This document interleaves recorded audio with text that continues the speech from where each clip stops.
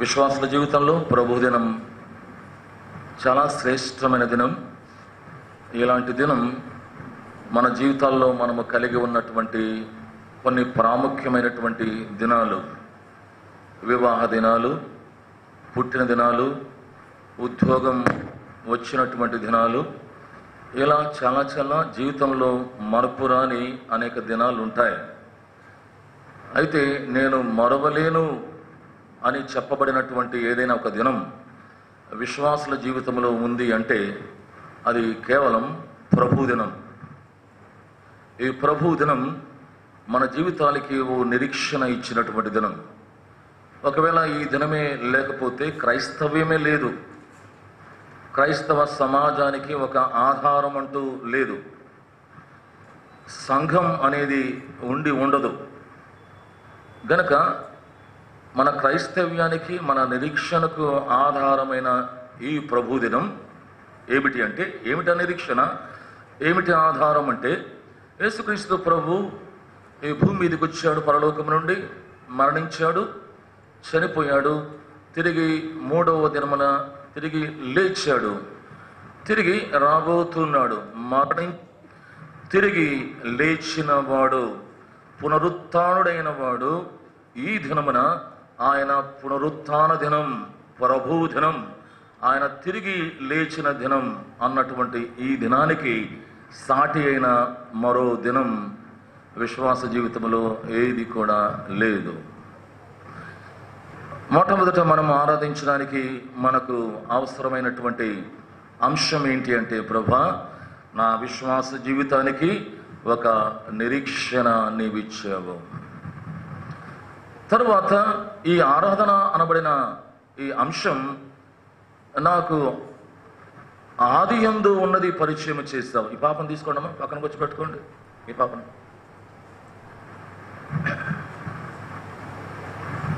ఆది ఎందు ఉన్న దేవుడు ఆది ఎందు ఉన్న ఆరాధనను పరిచయం చేశాం గనుక మన ఆరాధనకు ప్రారంభంలోనే దేవుని వాక్యంలో ఉండబడిన కొన్ని అంశాలను మన ఆరాధన కొరకు వెతుక్కోక మునిపే ఆరాధన కొరకై మన హృదయములు సిద్ధపరచబడి ఉండాలి. ఆరాధన నలురీతులుగా ప్రభువును ఆరాధించవచ్చు. నీకు సమయం దొరికినప్పుడు నోరు తెరచి ఆరాధిస్తేనే ఆరాధన అన్నటువంటిది కాదు. అలాగైతే ఇంతమంది ఉన్న సంఘములో మనము నలభై నలభై ఐదు నిమిషాలే ఆరాధన చేస్తున్నాం. చాలామంది ఆరాధన చేయడానికి ఆ సమయం అవకాశాలు లేవు. మరి ఇంతమంది ప్రభువుని ఎరిగిన వారు ఎలా ఆరాధన చేయాలి? ఆరాధన చేయుటకు దేవుని బిడల జీవితంలో నలు రీతుల పలు రీతుల ప్రభువును ఆరాధించవచ్చు. ఆ ఆరాధన నోరు తెరచి ఆరాధించిన వారి కంటే గొప్ప ఆరాధనగా ఉండనవచ్చు. నీవు దేవుని మందిరములో అడుగు పెట్టినప్పటి నుండి కూడిక ముగించేంత వరకు నీ ప్రాణాత్మ దేహములు ఒక కుదుటలో ఉంచుకొని ప్రభుతో లీనమై ప్రభువుని చూస్తూ ప్రతి కదలిక మీద కూడా దేవుని భయము కలిగి దాహము మరియు బాత్రూములు కూడా జ్ఞాపకము రాకుండా దేవుని మందిరములో నీవు మౌనముగా గడుపుట అది ఒక ఆరాధన. అందరూ లోపల కూర్చుంటే నాకు స్థలమున్నా కూడా క్రింద కూర్చోవడానికి బాగుంటుంది అని అనుకోనకుండా రెండవ ఫ్లోర్లో ఆరాధన జరుగుతుంది. స్థలం ఇంకా ఉంది. నేను ముందుగానే వచ్చాను. నేను మెట్లు ఎక్కగలను. లోపల కూర్చోగలను. నాకు అంత సమముగానే ఉన్నది.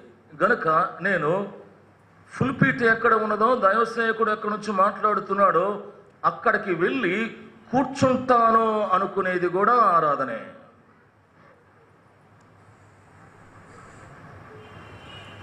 తొమ్మిదిన్నర గంటలకు ఆరాధన అని ప్రకటించారు. ఆ ప్రకటించిన ప్రకటన ఫుల్ పీటి మీద నుండి చేయబడ్డది. అనగా ఫుల్ పీటి మీద చేయబడిన ప్రకటన పైన వెంటనే పరిశుద్ధాత్మ దేవుడు సీల్ వేస్తాడు. ముద్రించబడుతుంది. ఇక దానికి తిరుగు ఉండదు. ఎవరు మార్చలేరు. That has been seal by the holy spirit whatever has spoken from the fulfil ముద్రించబడిన ఆ సమయానికి దేవుని భయము కలిగి సమయమునకు దేవుని మందిరములో అడుగు పెట్టుట ఆరాధన. చాలా బాగుంది కదా? ఆరాధన. నా మనసులో ఎటువంటి తలంపులు లేకుండా ఈ సమయమంతా ప్రభు నీ సన్నిధిలో నేను సంతోషించినట్లు నేను ఒక తీర్మానముతో నీ మందిరంలోనికి వచ్చి కూర్చున్నాను అని చెప్పుకోవడం ఆరాధన. నీవు ఎన్నెన్ని రీతులుగా ప్రభువును ఆరాధించవచ్చు. చీటికి మాటికి లేచి వెళ్ళకుండా కూర్చుండుట ఒక ఆరాధన.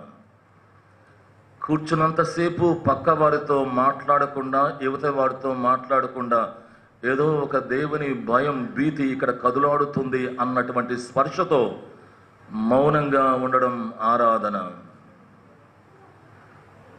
హృదయమును తెరచి కళ్ళు మూసుకొనుట ఒక ఆరాధన. ఈ ఉదయకాలము నీవు ఎటువంటి ఆరాధన చేయబోతూ ఉన్నావో?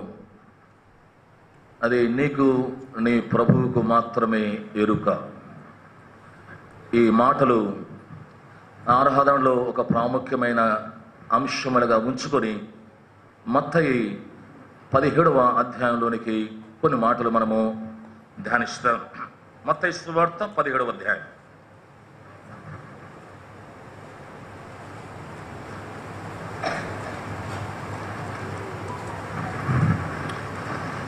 Matthew Gospel, chapter 17, reading verses from 24 to 27. పదిహేడవ అధ్యాయం మత్తైసు వార్త ఇరవై నాలుగు నుండి ఇరవై ఏడు వరకు. వారు కపెర్ణహుమునకు వచ్చినప్పుడు అరక్షకులు అను పన్ను వసూలు చేయువాను. పేతురు వద్దకు వచ్చి మీ బోధకుడు ఈ అరక్షకులు చెల్లింపడా? అని ఎడుగగా చెల్లించునను.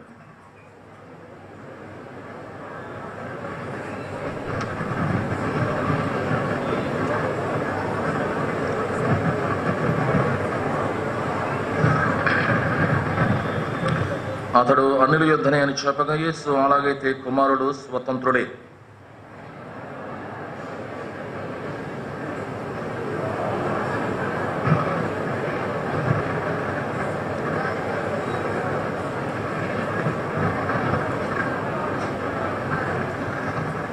చిన్న ప్రార్థన చేసుకుందాం. ప్రేమల తండ్రి ఆరాధన కొరకే కొన్ని తలంపులు మాకు దయచేయము.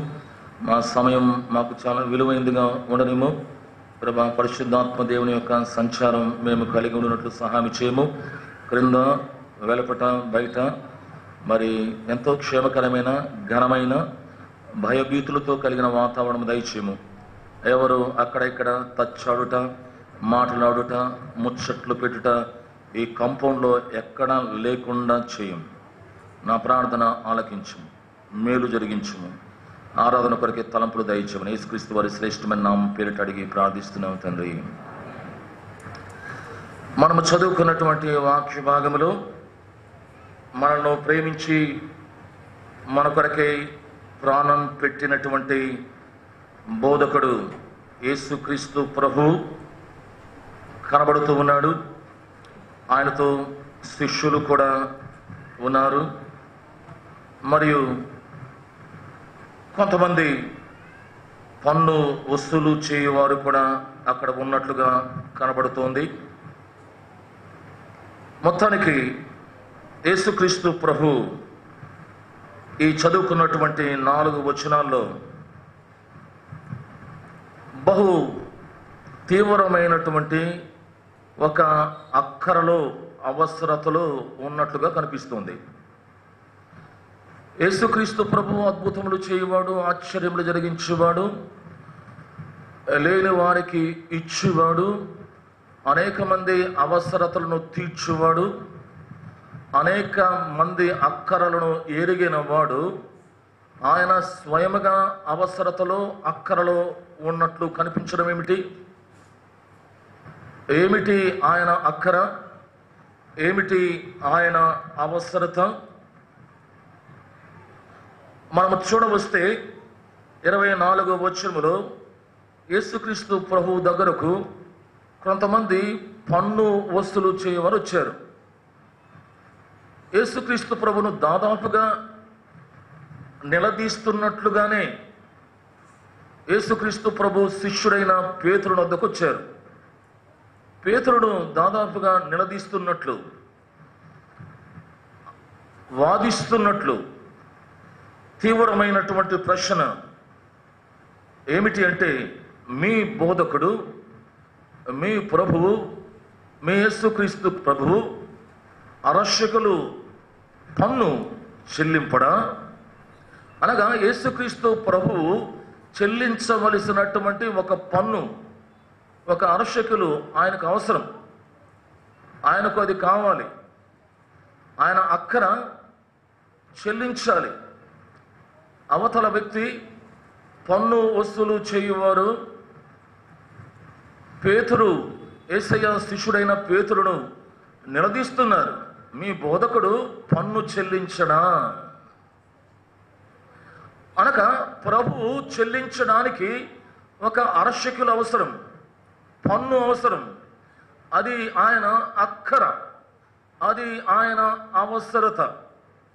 దేవుని బిడలు విశ్వాసులు ప్రభువును ఆరాధించలేని వారు ఆయనను అంగీకరించిన విశ్వసించిన పిదప కూడా ఆయన పట్ల కృతజ్ఞత భావము లేనప్పుడు ఆయనను స్థుతించుటకు ఆరాధించుటకు మనస్సు లేనప్పుడు కేవలము ఈ లోక సంబంధమైన జీవిత యాత్రలో వారు వీరు అనుకోవడమే కాదు. ఈమె రక్షించబడి కూడా ఒక్కసారి కూడా ఆరాధన చేయడం మేము చూడలేదన్నా. ఆయన బల్లలో పాలు పంపులు పొందుతాడు కానీ ఆరాధన చేయడం మేము చూడలేదు. ఒక్కొక్కసారి మనకు కూడా అనిపిస్తుంది నేను ఆరాధన చేయడానికి సమయమే లేదు ఆరాధన అంటే భయంగా ఉంది నేను ఇంతవరకు నోరు తెరవలేదు అని మనకు కూడా అప్పుడప్పుడు అనిపిస్తుంది. అయితే అక్కడతో చరిత్ర మాట ఆగిపోలేదు. యేసు ప్రభు దగ్గర ఆయన రక్తం ఇచ్చి కొన్నటువంటి దేవుని బిడ్డలు ప్రభువును ఆరాధించకపోతే ప్రభువును స్తుతించకపోతే ఆయనను నిలదీసేటువంటి పన్ను వసూలు చేసేటువంటి రక్తము పిండేటువంటి పన్ను వసూలు చేసేవారు సామాన్యుల. వారు నిలదీస్తారు. వారు అవమానపరుస్తారు. వారు నలుగురిలో అవహేళన చేస్తారు. నలుగురిలో మానం తీస్తారు. నలుగురిలో మన యొక్క పన్ను చెల్లించని అప్పు చెల్లించని ఇన్స్టాల్మెంట్స్ కట్టని మన దౌర్భాగ్యతను నలుగురుకు చెప్పి రక్తము పిండేటువంటి పన్ను వసూలు చేయువాడు యేసుక్రీస్తు ప్రభు దగ్గరకు ఎప్పుడు పడితే అప్పుడు వెళ్ళి ఆయనతో వాదులాడడానికి ఆయనతో ముచ్చటించడానికి అధికారము కలిగిన వాడు ఏమయ్యా? యేసుక్రీస్తు ప్రభు తండ్రి అయిన దేవా నీ పిల్లలు సియోను ప్రార్థనా మందిరములో నీకు పన్ను చెల్లించరా? నీకు అరక్షకులు చెల్లించరా? నిన్ను ఆరాధించరా నిన్ను స్తుతించరా నిన్ను గనపరచరా రక్తం ఇచ్చి కొన్నానంటున్నావే. వారి కొరకు పరలోకము నుండి దిగి వచ్చానంటున్నావే. వారి కొరకు నీవు సమస్తమును చేశానంటున్నావే. వారి పేర్లు జీవగ్రంథములో లిఖించారంటున్నావే. అయితే నీ పిల్లలు అరక్షకులు నీకు చెల్లించరా? నీ పిల్లలు నిన్ను స్తుతించరా నిన్ను ఆరాధించరా అని నిలదీసేవాడు పన్ను వసూలు చేయవాడు ఒకడున్నాడు వాని పేరు అపవాది. చాలాసార్లు దేవుని బిడ్డలు ఆరాధన చేయలేని దేవుని స్థుతించలేని మనస్సు కలిగిన వారి విషయంలో ఎన్నిసార్లు ప్రభు దగ్గర నిలబడి ఈ అపవాది ప్రభుతో వాదించినటువంటి సందర్భాలని జ్ఞాపకం చేసుకుందాం. ఈరోజు మన ఆరాధన ఆయన అవసరత. ఈరోజు మన ఆరాధన ఆయన అక్కర. ఈరోజు మన స్థుతి ఆయనకు అవసరం. ఇదే మన ప్రభువు యొక్క అవసరత ఈ ఉదయకాలం. ఆయనకు కలిగిన అవసరత అనేక మంది అక్కర అనేక మంది అవసరత తీర్చి ఈయనకు. ఈరోజు అంత అవసరత ఏమిటి అంటే నీ నా ఆరాధన నీ నా స్థుతి నీ నా కృతజ్ఞత ఆయనకు అవసరం.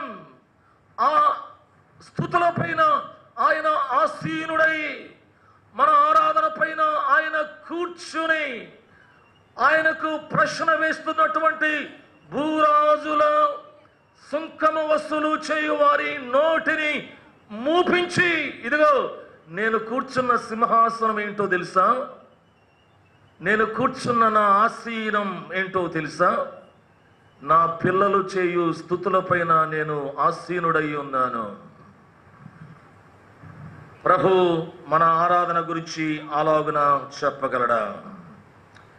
గనక ఈ ఉదయ కాలం ప్రభు అక్కర ప్రభు చెల్లించవలసినది.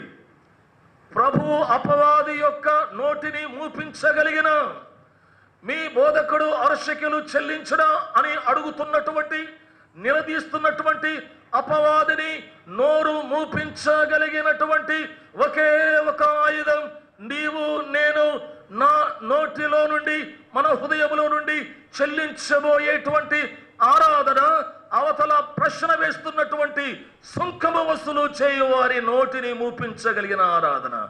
అది ఆయన అక్కర ఈరోజు. అది ఆయన అవసరత ఈరోజు.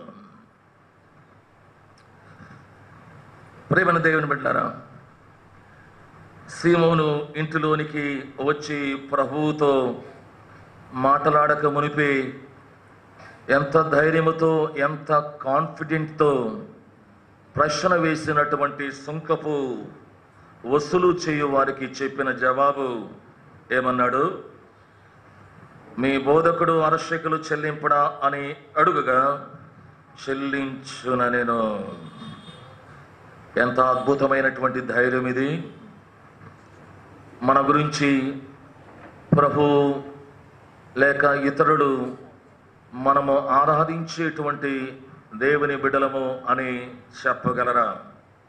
ఇరవై ఐదు వచ్చినములో ఇంటిలోనికి అతడు వచ్చి మాటలాడకు మునిపి ప్రభు ఆ సంగతి ఎత్తి భూరాజులు సుంకము పన్ను ఎవరి వద్ద వస్తువులు చేయదురు? కుమారుల యొద్దన అన్యుల యొద్దన అని అడిగను. అతడు అన్యుల యొద్దనే అని చెప్పగా యేసు అలాగైతే కుమారుడు స్వతంత్రుడే. యేసుక్రీస్తు ప్రభు పన్ను చెల్లించాల్సిన అవసరత ఏమిటి? అది ఎటువంటి పన్ను? అది ఎలాంటి సుంకము? అని కొంచెం చరిత్రలోనికి మనం వెళితే యేసుక్రీస్తు ప్రభు ఈ లోకంలో ఉన్నప్పుడు ఆ దేవాలయంలోనికి ప్రతిసారి వెళ్ళేవాడు ఆ దేవాలయంలో కూర్చునేవాడు ఆ దేవాలయంలో బోధించేవాడు ఆ దేవాలయాన్ని వినియోగించుకునేవాడు. గనుక దేవాలయమును వినియోగించుకుంటున్న మీ బోధకుడు దేవాలయమును వాడుకుంటున్న నీ బోధకుడు దేవాలయంలోనికి ప్రతి దినము వెళ్ళి వస్తున్నటువంటి మీ బోధకుడు పన్ను చెల్లించడా? సుంకము చెల్లించడా అని అడుగుతున్న ఈ ప్రశ్నకు వాస్తవికతలోనికి వెళితే ప్రభువు ఆయన ఏ దేవాలయమును వాడుకుంటూ ఉన్నాడో ఏ దేవాలయమును వాడుకుంటూ ఉండగా పన్ను చెల్లించమని పన్ను వసూలు చేయవారు అడుగుతూ ఉన్నారు ఈయన దేవాలయము కంటే గొప్పవాడు. పన్ను చెల్లించవలసిన అవసరత లేనివాడు. సుంకము చెల్లించవలసిన అవసరత లేనివాడు. ఆయనను అభ్యంతరము కలిగించకుండా నీవు పన్ను చెల్లించువు అని పేతురుతో చెబుతున్నటువంటి మాటలు మన దేవుడు దేవాలయము కంటే గొప్పవాడు.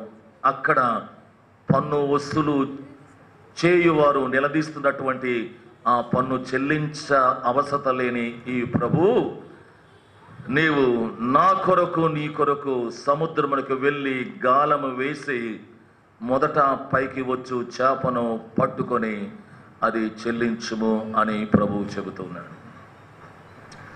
దేవాలయము కంటే గొప్ప దేవుడు.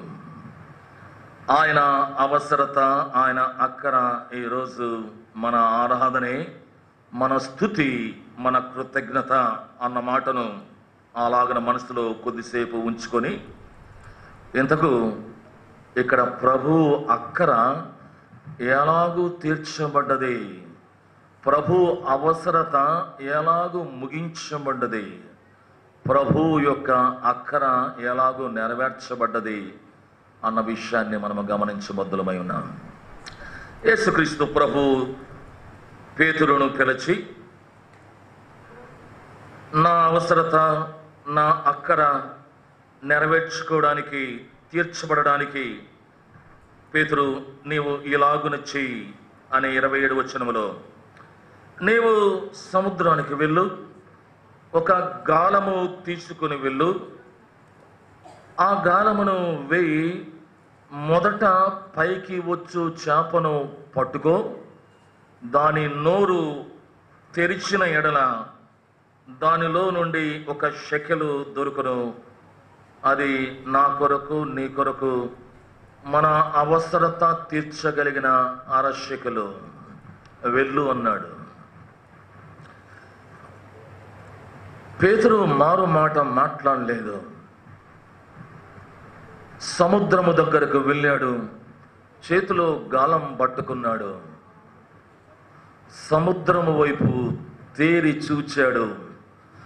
హోరుమన్నటువంటి గాలి భయంకరమైనటువంటి ఎగసి పడుతున్నటువంటి అలలు విశాలమైన సముద్రం. దాని యొక్క అంతము ఎక్కడో కనబడడం లేదు. దాని వెడల్పు అంచనా వేయలేకపోతున్నాడు. దాని పొడవు దాని లోతు దాని గంభీరత్వం భయభీతులు కలిగిస్తున్నటువంటి ఎగసి పడుతున్నటువంటి అలలు. బహుశా పేతరు ఒక్కసారి అలాగూ నిలబడి ఉండవచ్చు. సముద్రం యొక్క వాతావరణాన్ని చూచి ఉండవచ్చు. ఆ హోరు ఆ గాలి ఆ తుఫాను ఆ యొక్క అలలు ఆ భీకరత్వం గమనిస్తూ చేతిలో ఉండబడిన గాలమును చూస్తూ ఉండవచ్చు. ఏమండి? సముద్రానికి చేపలు పట్టడానికి వెళ్ళేవారు. గాలాన్ని తీసుకొని వెళ్ళడం ఎక్కడైనా చూసారా చెప్పరే కొంతమంది చూసినట్లున్నారు. సముద్రానికి గాలం పట్టుకొని వెళ్ళేవారు చేపలు పట్టడానికి. పేతురు సముద్రం యొక్క భీకరత్వం సముద్రం యొక్క లోతు సముద్రం యొక్క హోరును చూస్తూ చేతిలో ఉన్నటువంటి ఒక సన్న తీగ లాంటి దానికి చివరలో ఒక చిన్న ముళ్ళు లాంటి సముద్రం దగ్గర నిలబడ్డాడు. ఈ గాలం నేను వేయడం ఏంటి? ఈ గాలం సముద్రములోనికి వెళ్ళడం ఏంటి? ఆ చేప అట మొదట వస్తుందట. ఆ మొదట వచ్చిన చేప నోరు తెరిస్తే ప్రభు అక్కర తీర్చగలిగిన ఒక అరశకేలు ఉందట. ఏమి చిత్రం ఏంటి? ఈ యొక్క అద్భుతమైనటువంటి ఆయన మాట. ఇదిగో నేను వచ్చాను సముద్రము ముందు నిలబడ్డాను. ఏ సందేహం? ఏ అనుమానం? లేని పేతురు సముద్రపు దగ్గర నిలబడ్డాడు గాలం చేతిలో పట్టుకొని.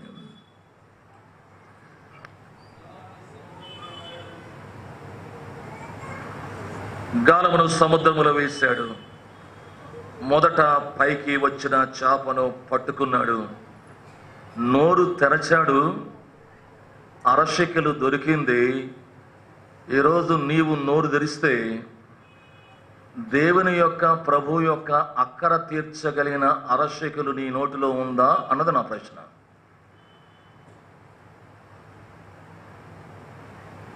ఎందుకు నేను చెల్లించాలి?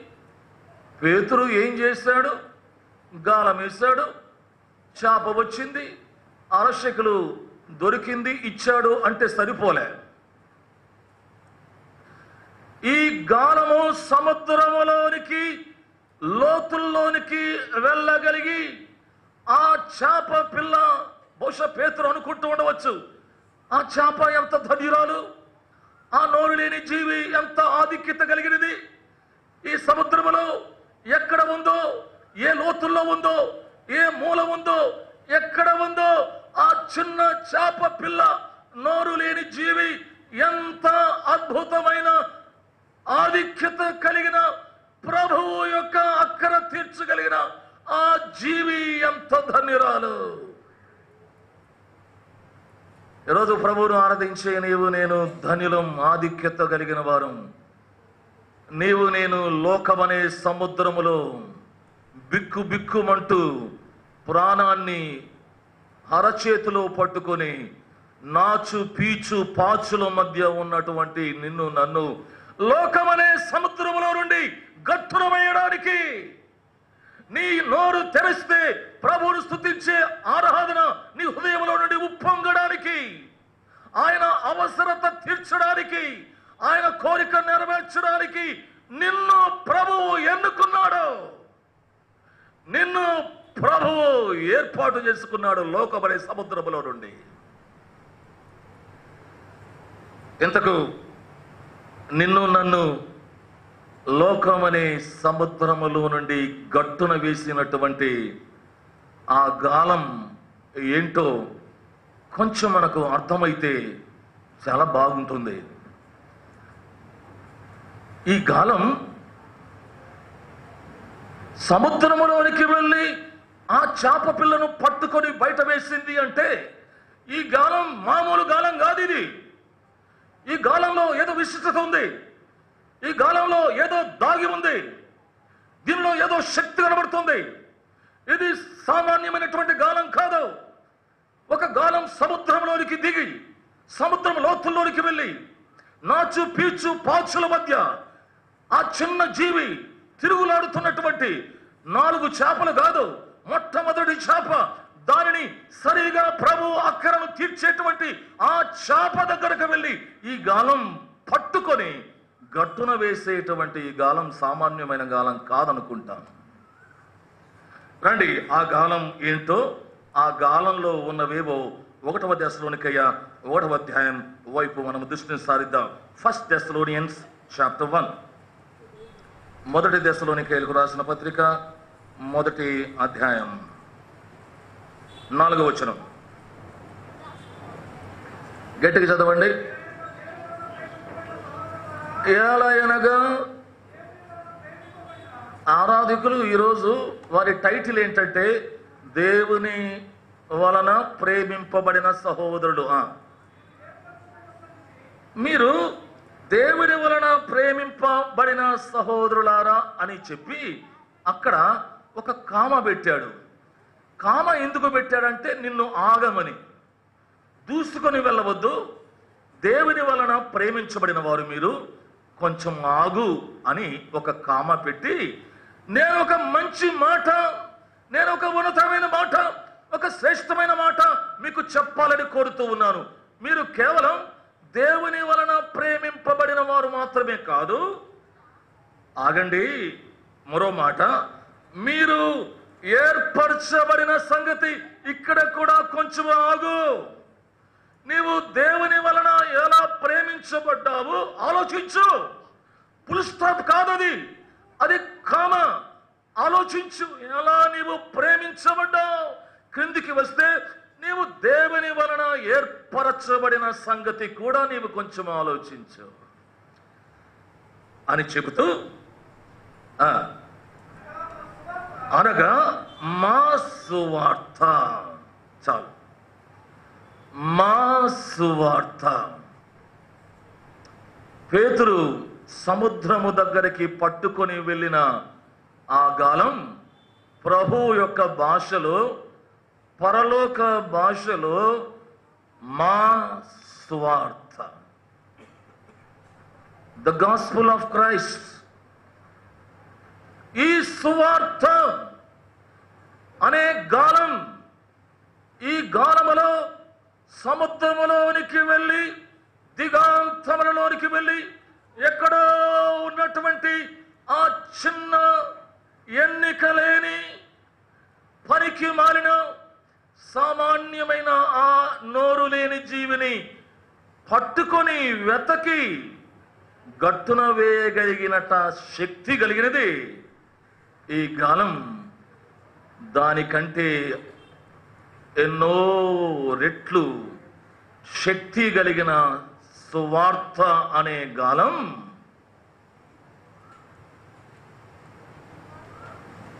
నిన్ను నన్ను సముద్ర అగాధములో పడి ఉండగా సువార్త అనే గాలం నిన్ను నన్ను ఎలా వెదకి పట్టుకొని సముద్రపు యొక్క ఉప్పు లవణముల పనికిమాలిన నాచు పీచు వాసన నన్ను నిన్ను మృంగ తీసే అనేక ప్రమాదాల మధ్య ఉన్న నిన్ను నన్ను ఆ సువార్త క్రీస్తు సువార్త నిన్ను నన్ను గట్టున వేసింది అంటే ఈ సువార్తలో కూడా ఏదో విశిష్టమైనటువంటి కొన్ని లక్షణాలు తప్పక ఉండి ఉండవచ్చును.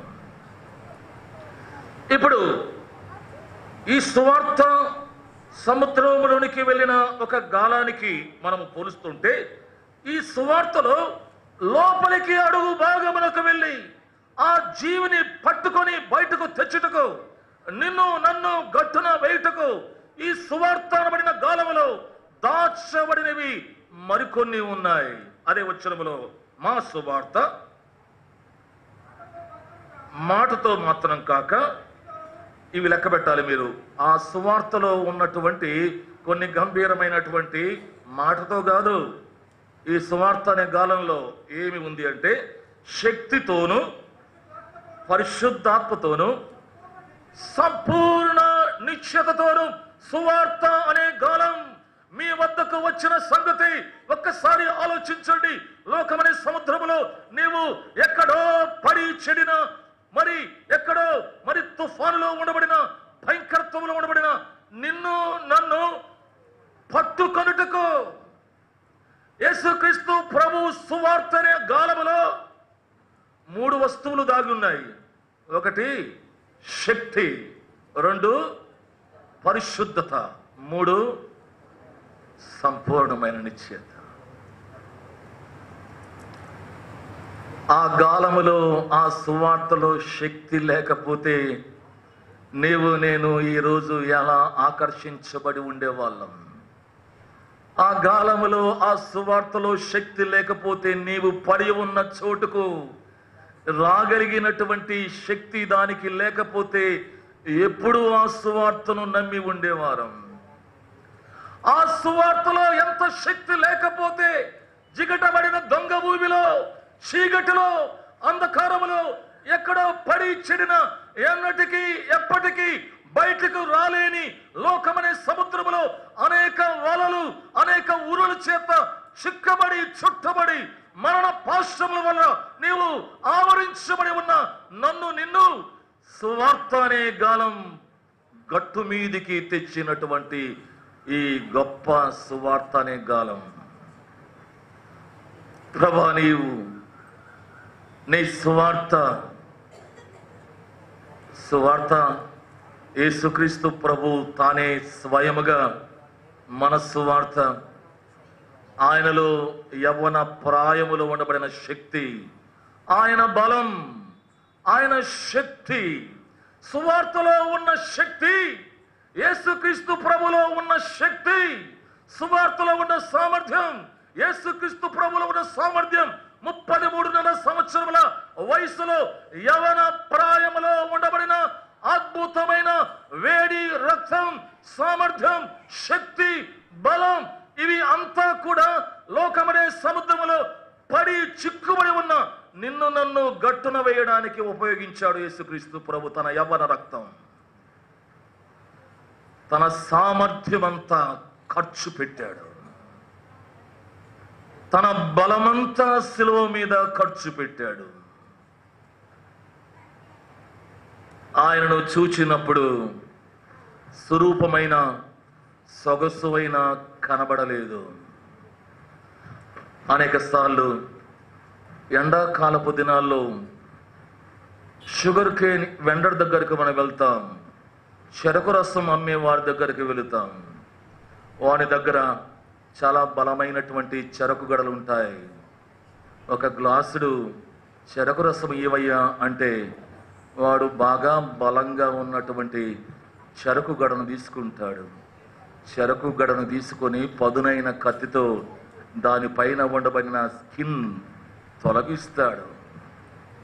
యేసుక్రీస్తు ప్రభు యొక్క శరీరము అలాగూ బలమైన సామర్థ్యము కలిగినటువంటి యవ్వన ప్రాయములో అలాగనే చేయబడ్డది. ఆ తొలగించబడిన స్కిన్ తీసివేయబడిన చెరకు గడను ఆ యొక్క మిషన్లో పెట్టి ఒక్కసారి రెండు సార్లు మూడు సార్లు తీస్తూ మరియు తిరిగి ఆ మిషన్లో పెడుతూ ఒకటి రెండు మూడు సార్లు దానిని తిప్పి తిప్పి పెడుతూ దానిని మరలా ఫోల్డ్ చేసి మరలా దానిలో ట్విస్ట్ చేస్తూ దాని మీద అల్లము నిమ్మకాయ ఈ వేడిని మంటను పుట్టించేటువంటి పదార్థాలను ఆ మిషన్లో పెట్టి దాన్ని తిప్పుతూ తిప్పుతూ తిప్పుతూ ఉంటే ఎంతవరకు తిప్పుతారు అంటే ఆ చెరుకు గడ పిప్పిని చెయ్యి పెట్టి ఇలా తగిలితే తడి కూడా తగలదు. కొంచెము తడి కూడా తగలనంత పిప్పిగా చేయబడిన చెరుకు గడను అలా విసిరి కొడతాడు. నీ చేతికి ఒక నిండు గ్లాస్ ఇస్తాడు. అది తాగి ఎలా దప్పి తెచ్చుకొని ఊపిరి పీల్చుకునే అంత స్థితికి దేవుడు తెచ్చాడు ఆయన చెరుకు గడలాంటి పిప్పిలాగా చేయబడి. శక్తినంతా దారపోసాడు తన బలమునంతా దారపోసాడు సువార్త అనబడిన గాలమైన యేసుక్రీస్తు ప్రభువులో ఉండబడిన శక్తి అంతా నీవు పడి ఉన్న చోటుకు దిగునంత బలము కలిగినది. నిన్ను లేవనెత్తంత బలము కలిగినది. నీ పాపమును క్షమించబడినంతగా బలము కలిగినది. నిన్ను దేవుడి బిడ్డగా చేయనంతగా బలము కలిగినది. నీ భయములను తొలగించినంతగా నిన్ను ఆవరించి ఉన్న ప్రతి దానిని తొలగించినంత బలము కలిగిన శక్తినంతా కూడా యేసుక్రీస్తు ప్రభు శిలువలో ఆయన ఖర్చు పెట్టాడు. అదే సువార్తలో శక్తి మరియు పరిశుద్ధాత్మ ఉన్నది. పరిశుద్ధత ఉన్నది. సముద్రములో నుండి బయటికి వచ్చిన చేప పిల్లను మనము చూచినప్పుడు అది వినియోగించబడడానికి వీలు లేనిది. మీరు ఎప్పుడైనా మార్కెట్ నుండి చేపలు తెచ్చుకొని అలాగనే పొయ్యిన మీద పెట్టుకొని వండుకొని తిన్నారా? ఏ? మార్కెట్లో చేపలు కొని నీళ్ళల్లో పొయ్యి మీద పెట్టి వండలేదు. ఎందుకు? ఆ చేప మీద వండబడిన నీచు పాచు పీచు జోము భయంకరమైనది. ఒకటేమో సముద్రములో నుండి వెలుగు తెచ్చుటకు కొంత కష్టపడాల్సి వచ్చింది బలం ఖర్చు పెట్టాల్సి వచ్చింది. ఆ బలమంతా ఖర్చు పెట్టి సంపాదించినటువంటి గట్టున చేర్చినటువంటి ఈ జీవిని ఇప్పుడు దాని పైన ఉండబడిన వాసన కంపు నీచు మురికి జోము ఇవన్నీ కడగబడుటకు ఇవన్నీ తీసివేయబడుటకు ఆ చాప పిల్లను సముద్ర అగాధముల నుండి తేబడిన దీనిని పవిత్రపరచుటకు పరిశుద్ధపరచుటకు ఆ సువార్తలో ఇమిడి ఉన్నటువంటి మరొక సాధనం పరిశుద్ధాత్మ. పరిశుద్ధత పవిత్రత. యేసుక్రీస్తు ప్రభు నీ కొరకు నా కొరకు తన సామర్థ్యాన్ని శక్తిని ఉపయోగించి సముద్రంలో నుండి గట్టున చేర్చాడు. మన పైన ఉండబడిన మనలో ఉన్నటువంటి మురికి రోత అవన్నీ పవిత్రపరచడానికి ఆయన పరిశుద్ధతను మనకు దారపోసాడు. ఆయన రక్తముతో మన ప్రతి పాపము నీచు చేదు మురికి మరకలను కడిగి వేశాడు ఆ గాలములో దాగి ఉన్న మరో మూడవ వస్తువు. చెప్పరే? అంటే మీరు చెప్పినంతనే ఉంది మనకు నిశ్చేత. ఎట్లా చెప్పాలంటే ఎగిరి గంతేసి చెప్పాలి ఆరాధికులు. మామూలు నిశ్చేత కాదు ఆ గాలంలో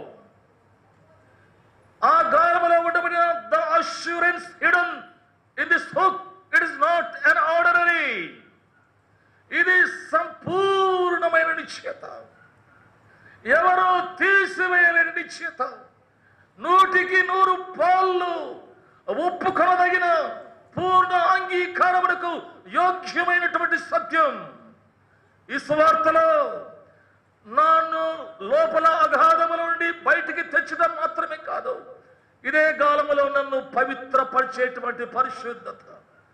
ఇదే గాలములో ఆయనను నేను తిరిగి పరలోకములో కలుసుకుంటాను చస్తే పరలోకానికి వెళుతాను అన్నటువంటి మామూలు నిశ్చయత కాదు ఎటువంటి నిశ్చయత సంపూర్ణమైన నిశ్చేత. ప్రేమ దేవుని బిడ్డారా ఏ ఉదయకాలం లోకమనే సముద్రములో ఎక్కడో పడి మరణ పాశములు చీకటి బ్రతుకులలో భయంకరమైన పాపములు కొట్టుమిట్టుకులాడుచున్న మనలను ఆ స్వార్థ అనే గాలం ఎలాగూ మన దగ్గరకు మన వద్దకు వచ్చింది. మనను ఎలా పట్టుకొని గట్టున చేర్చింది. మన నీచపు స్వభావము రక్తపు మురికిని ఎలా పవిత్రపరిచింది ఆ గాలంలో? ఈరోజు సంపూర్ణమైన నిరీక్షణ నిశ్చిత మనం ఎలా కలిగి ఉన్నాం? ఒకవేళ మనము ఆ చాప దగ్గరకు వెళ్ళి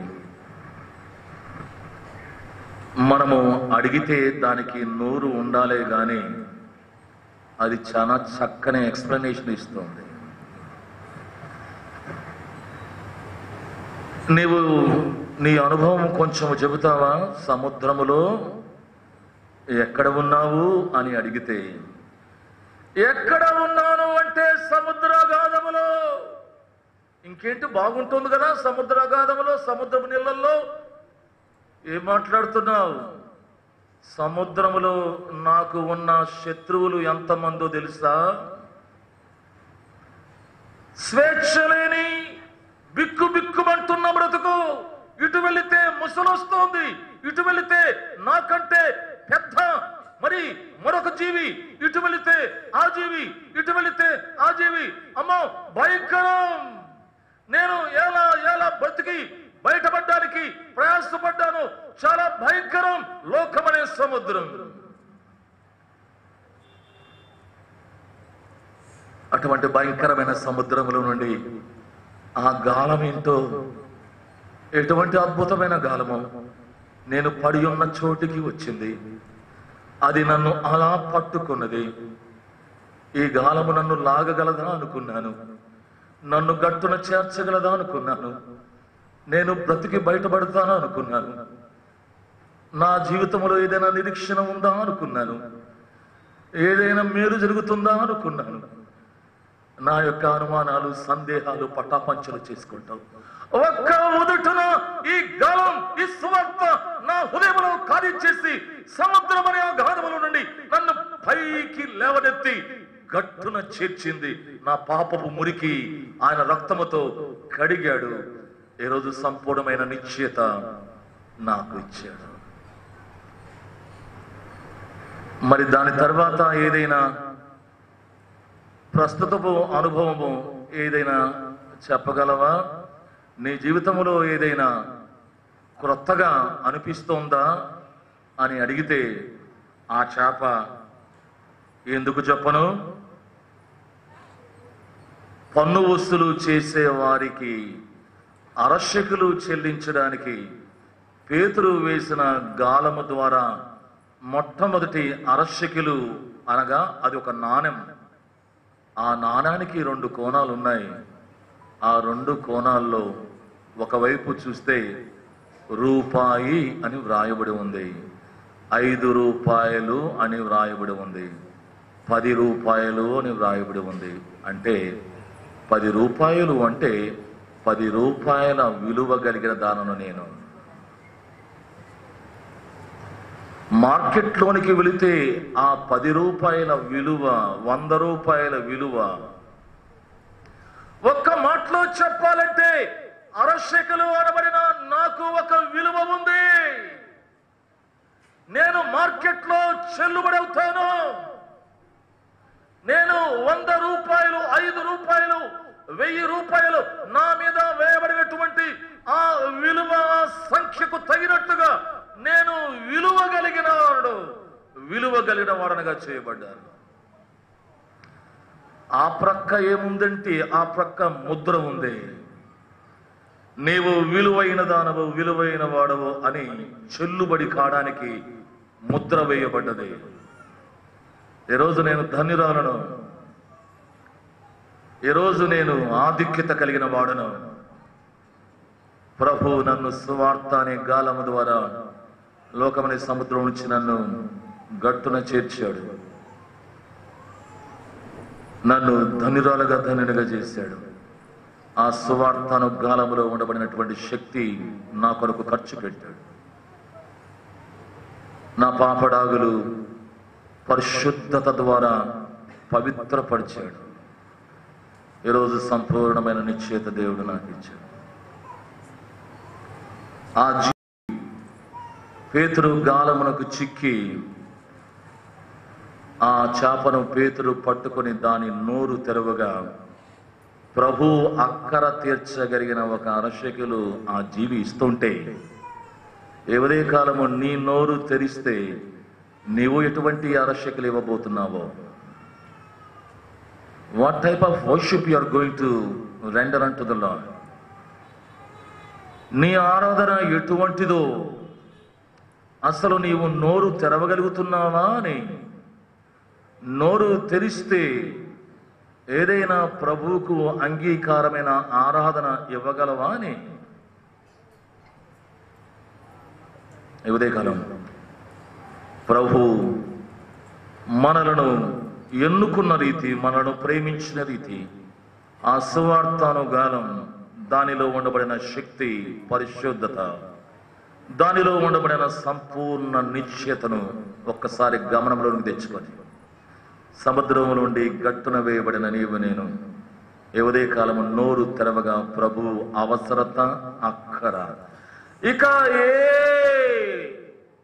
వస్తువు మరి ఇతరమైన ఏది కూడా ప్రభు అవసర అక్కర తీర్చబడదు. అసలు అటువంటి అవసరత ప్రభువుకు లేదు.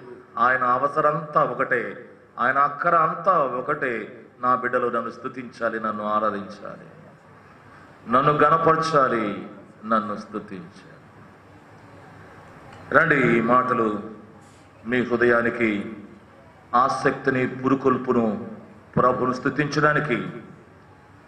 ప్రోత్సహిస్తే నోరు తెరచి బిగ్గరగా ఆరాధన చేయడానికి మనం సిద్ధపరచబడదాం. దానికి ముందు మనం లేచి ఒక పాట పాడుకుందాం. మనం అందరం కలిసి సంయుక్తంగా ప్రభును ఆరాధించడానికి సమయం తీసుకుందాం. మనం లేచి నిలబడి